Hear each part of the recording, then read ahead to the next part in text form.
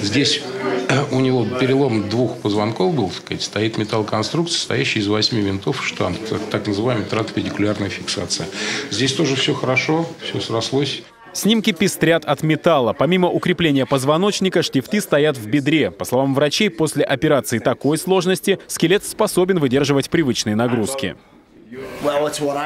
То, как я себя чувствую, это очень важный показатель. Всего год прошел после операции. Ранее мы сделали множество снимков, доктор посмотрел и еще раз сказал, «Джон, все очень хорошо. Я счастлив, я могу гулять, у меня нет проблем со спиной. Спасибо всем томским докторам и медперсоналу».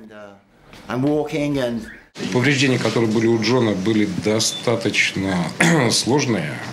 Каждое из повреждений могло привести либо к инвалидности глубокой, либо вообще к очень плохому исходу. Сказать. Ну, все, слава богу, получилось вовремя, хорошо. По отзывам зарубежных коллег, сказать, все было сделано на очень высоком профессиональном уровне. Мы этому рады.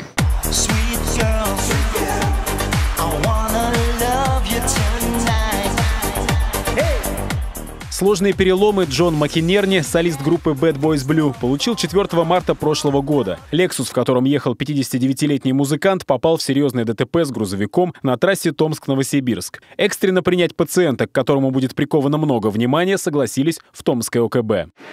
Давайте расскажем. Это памятник любовницы.